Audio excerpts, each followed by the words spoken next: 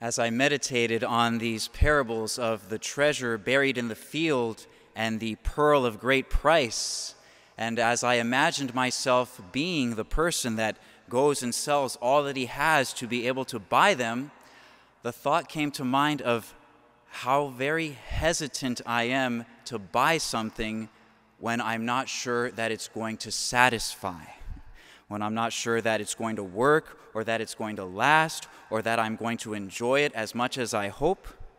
I hate the thought of putting time, money, energy into buying something and then finding out later I chose poorly. And I imagine many people out there feel the same way. What do we do when we're going to buy something expensive, like a new piece of furniture, or perhaps a new laptop computer, or a printer, or perhaps sign a 12 month lease on a new apartment? Well, we go and we look at the ratings and the reviews, right? And it's so nice when we find something that has over 3,000 reviews and they're almost all five stars. We know we're good to go.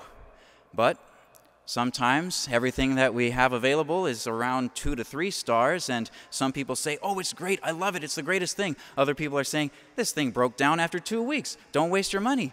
And I'm like, uh, Who do I trust? Right? I don't want to risk it, I don't want to end up sorely disappointed. Well, the good news of the gospel is that heaven will not disappoint. That's what these parables assure us. Heaven will not disappoint. It will be worth every sacrifice that we have to make in order to get there, and it will offer us a greater joy, a lasting joy, greater than any of the pleasure or delight we could enjoy on earth. And this might sound like a pretty basic message that we don't need to spend a lot of time on, but I think we do. I think we really do, because let's face it, the doubts come. The doubts can come that maybe heaven is not that great. Uh, maybe it's going to be missing something important. Uh, maybe I'm going to get bored. Maybe I, I really need to live it up here. If we do not think enough about heaven, if we are not totally convinced of how awesome it's, awesome it's going to be, then it will be easier for Satan to lure us into sin and trap us. So let's take advantage of these parables to help stretch our imagination and beef up our idea of heaven. In the parable of the treasure buried in the field, we hear that the man goes and sells all that he has and buys that field. And the question came to mind why does he buy the field? Why doesn't he just grab the treasure and run with it? Well, if we're asking that question, then we're already thinking too small. For years, I imagined a two by three foot treasure chest filled with jewels or maybe gold medallions, like in the movie Pirates of the Caribbean. But then the thought came to mind you mustn't be afraid to dream a little bigger, darling. and so, if he couldn't take the treasure with him, if he had to go buy the field, it's because the treasure was too big to take with him. So, instead of imagining some chest that we could pick up, better to imagine him stumbling upon a huge, vast underground cavern, something like the Cave of Wonders in the movie Aladdin. This is what made it so easy for him to go and sell all he had out of joy, it says. No hesitation, uh, no uh, doubt, no uncertainty, no sorrow over the things he's going to be missing. No, out of joy, because he knows, after seeing that treasure, this is worth more than everything I own a hundred times over and a hundred times again. So for him, it's a no brainer, right? Get rid of all this and get the field, get the treasure. This is how we're meant to think about heaven, right? Whatever we might have to sacrifice, it should be a no brainer to give it up so that we can make it to heaven. Now, what of the pearl? The pearl of great price. The fathers of the church tell us, they say that the treasure buried in the field emphasizes the value of heaven, the fact that it is all we will ever need. The pearl of great price emphasizes the splendor, the beauty, the sweetness of heaven, the delight that we're going to have from it. And this expresses the fact that it is all we will ever want. He sees the pearl, and again, no hesitation, no uncertainty, goes and sells all that he has because he knows that there is no comparison to this pearl. He knows that having this one pearl is going to give him complete satisfaction. He knows, compared to this, all the other pearls that he's seen are as nothing. The dazzling beauty, the delight that he has in this pearl is incomparable. And so he goes and gets rid of all the others. It's as if he had never truly lived until he found this pearl. Have you ever heard someone use that expression or used it yourself? You haven't truly lived until you have tried this. I like to think that way about In N Out, In N Out Burger, right? I find out someone has never had In N Out. I'm like, oh, you've never had In N Out? Come on, get in the car, let's go. We're about to change your life. well, all the more so when it comes to heaven. When we behold the, the glory of God in heaven, we're going to realize I have never truly lived until this moment. And we're going to recognize that God is the only thing that we really can't live without oh, I thought I couldn't live without this or this that I had on earth, but boy, was I wrong, right? Like the merchant with the pearl, we're going to realize that the beauty, the delight, the pleasure, the splendor of heaven, that the delights of earth are nothing in comparison. What does St. Paul say in his letter to the Romans, chapter 8, verse 18? I consider that the sufferings of this present life are not worth comparing to the glory to be revealed in us. And I think it would be equally true, equally true if he had said, I consider that the pleasures, the delights, the beauty of this present life, that they're not worth comparing to the glory to be revealed in us. And with that, the thought comes to mind Have you ever been asked the question, on a scale of 1 to 10, how would you rate your pain? Pain, uh, the 10 being the worst pain imaginable. Well, we could do the same thing with pleasure or delight, right? On a scale of 1 to 10, how would you rate your pleasure, your delight? 10 being the, the greatest imaginable on this earth. Well, then, as I think of those words of St. Paul, not worth comparing, the thought comes to mind when we bring in heaven and hell that the scale we got to use is something more like 1 to a million or even 1 to a billion. And I can almost hear the angels laughing. Go ahead, say trillion. You're still nowhere close, right? Another thought that comes to mind is imagining the greatest delight we've ever had on earth. I think of the, the most joyful moment that you've ever had. It could be, uh, could be having a delicious smoothie at Smoothie King. It's just so perfect. Uh, it could be uh, it could be that you heard something so hilarious that you just burst out laughing. You couldn't contain yourself. It could be the profound joy of coming together with family and friends after a long absence. Could be seeing something that was just so beautiful it took your breath away. Could be the exhilaration of being on the most awesome roller coaster. Whatever it is, find your happy thought. And now, in your mind, using our imagination, we can have the concept of 50 million instances of that delight hitting us all at the same time and be like, whoa, whoa, whoa, righteous, righteous. Right? Heaven is better than that. So let's not get all caught up thinking about the things of this earth. Let us not think that there is any pleasure on this earth that we can't live without. So many of us, we can end up clinging to serious sins for the sake of pleasure. It could be abusing drugs to get high, it could be abusing alcohol to get drunk. It could be sexual pleasure. Especially in our hedonistic culture, we see people make this the be all end all. We know, yes, God has put great pleasure in the marital embrace for those couples that are worthy of it. When a man and a woman are willing to make a total gift of themselves to each other and be bound by marriage.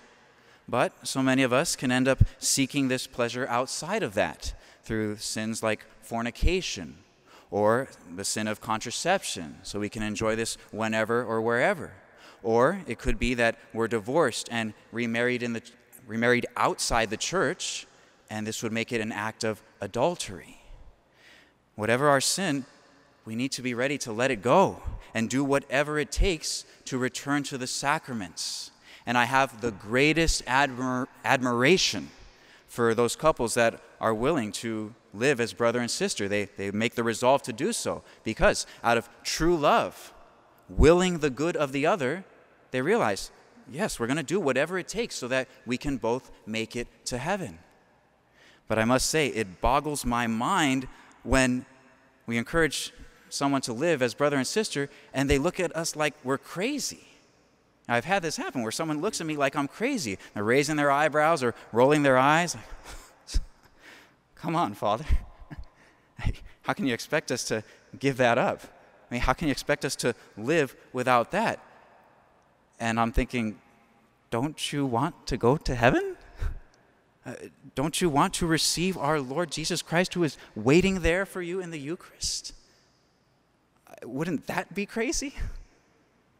Let us not think, let us not act like the pleasures of this world are really that great. No, as, as if they're worth, worth dying for. No, they're not worth dying for. They're not worth going to hell for.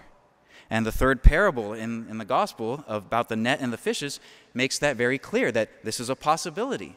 After expressing how awesome heaven is going to be, Jesus lets us know that if we are not willing to pay the cost, then we will not get there. And what's the cost? Everything we have, all that we have. We need to renounce our sin, keep God's commandments, give our will over to Him, carry our cross, whatever it takes but it's worth it. Read the reviews of the saints, right? We talk about uh, reading reviews before buying something, before committing to that final purchase. Well, uh, read the reviews of the saints, those who know what they're talking about. And a prime example is St. Augustine. Right? St. Augustine, he knew the pleasures of the flesh, he knew the pleasures of sin. He lived for years with a mistress, had a child out of wedlock, and he thought that he couldn't live without them. For a while, he was praying to God, God, please make me chaste. But not yet. Well, eventually, he had his conversion, and finding such delight in profound union with God, he didn't miss those former pleasures. And we have him expressing this in his confessions. He writes, Late have I loved you, O beauty ever ancient, ever new. Late have I loved you. He says, I plunged into the lovely things which you created but you called, you shouted, and you broke through my deafness. You flashed, you shone, and you dispelled my blindness. You breathed your fragrance on me. I drew in breath, and now I pant for you. I have tasted you, and now I hunger and thirst for more. You touched me, and I burned for your peace. Then there's St. Faustina. I recently read this in her diary, paragraph 439. Listen to this. She says, The moment of Holy Communion, an extraordinary fire was enkindled in my soul. I thought I would die of joy and happiness. I felt totally immersed in God. I felt I was snatched up by the Almighty, like a particle of dust into unknown expanses. Trembling with joy in the embrace of the Creator, I felt He Himself was supporting me so that I could bear this great happiness and gaze at His majesty.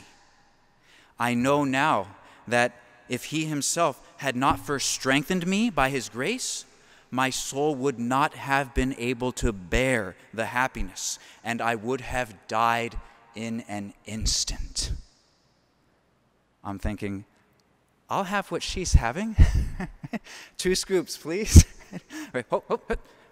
Sorry, I thought I was almost starting to levitate there. Right? Let's get excited about this. In heaven, we will have complete satisfaction of soul and body.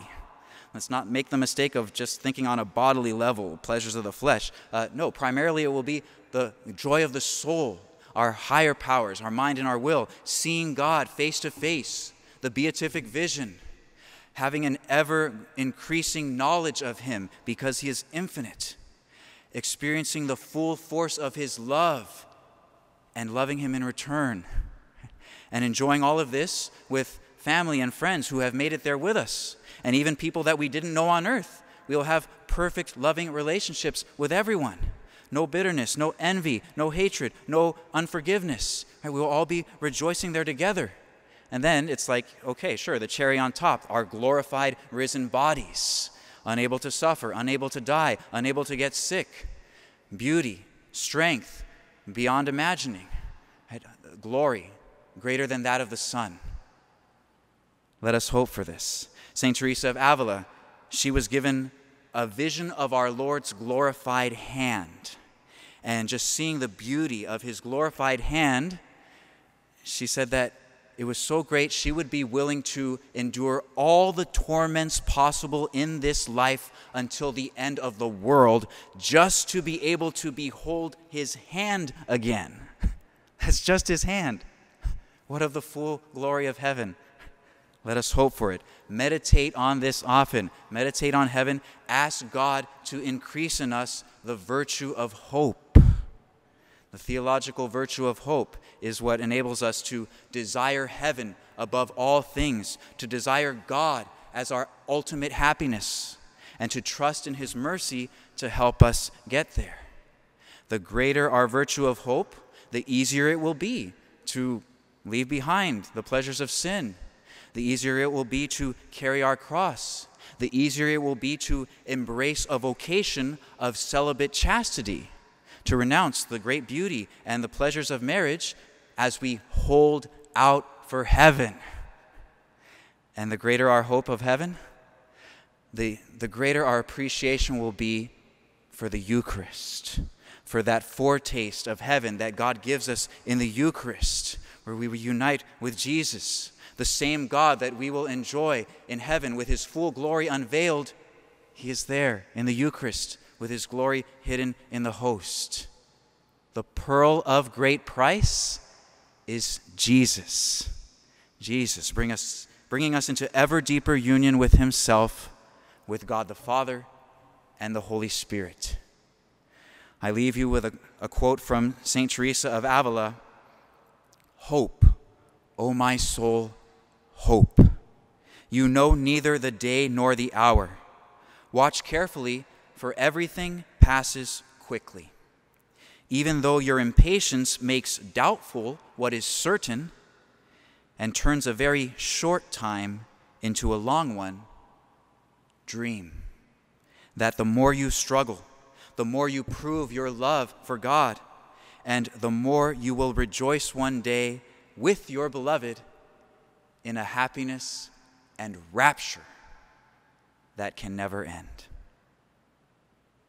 God love you.